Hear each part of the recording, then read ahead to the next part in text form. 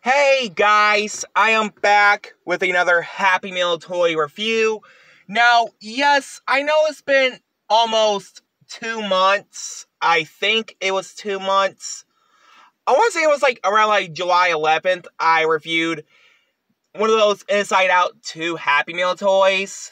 Which, yes, we are reviewing toy number one and toy number three. Toy number three, I mean. Sorry, I I've been up since one o'clock this morning and I am pretty tired. So yeah, um I had these in the bag for like two weeks now. Yes, um we got toy number one, Hello Kitty crossover Dark Magician.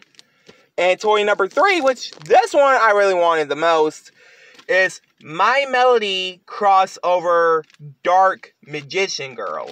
Um, yes, this is for an early October's unwrapping, which will be part of October's unboxing compilation some point by next month. Yes, I know it's the 1st of September. I reviewed a plushie two days ago, which was the movie Shadow plush from Sonic 3.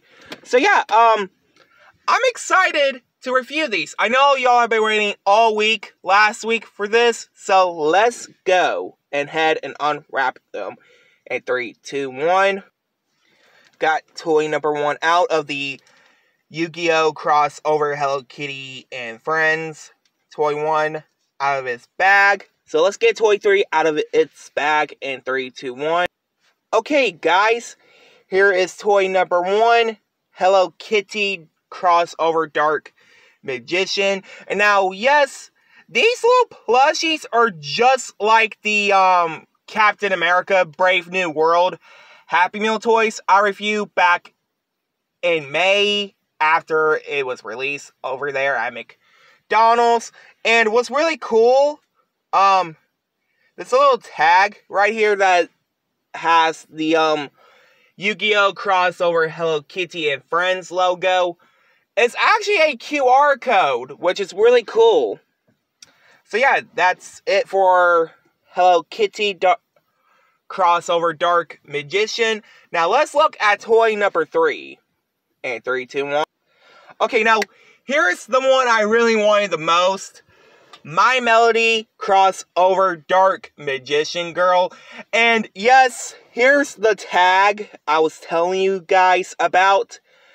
I don't even know how this happened. It just ripped after I got the toy out of the bag.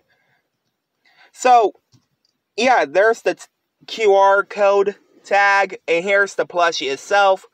Now, yes, this is just the characters from the Hello Kitty franchise cosplaying characters from Yu-Gi-Oh! like um Dark Magician Girl, Time Wizard, and uh Dark Magician.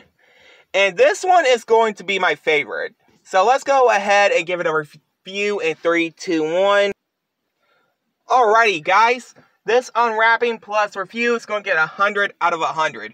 Now, yes, I know I've been excited to review these since, like, last week, but I said I was going to review them today on Sunday, which was Monday of last week. Anyway, guys, I hope you guys like, comment, subscribe.